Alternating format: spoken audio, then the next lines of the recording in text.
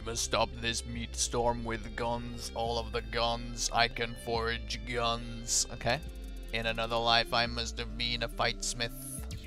Make sure you take proper care of your guns. They're precious. By the three pillars of law, order, and discipline, shall Tyr dispatch these meat fiends. The meat storm is a test from the gods. All that matters is the mission.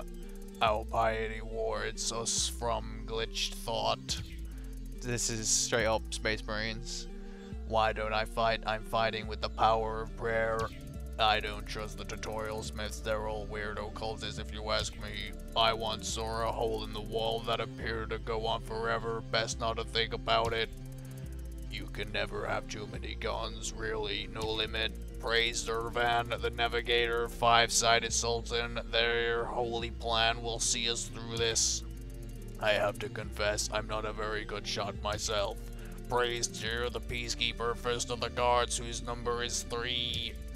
Aside from make guns, I like to clean guns, I like to pray, praise Hephaestus, the creator. My weapons are built by their designs. Clearly, the Mega Beast hates our freedom, thus we must destroy it. The gods left to serve the mission, one day they will return. In another life, I must have been a fightsmith. Cool guy.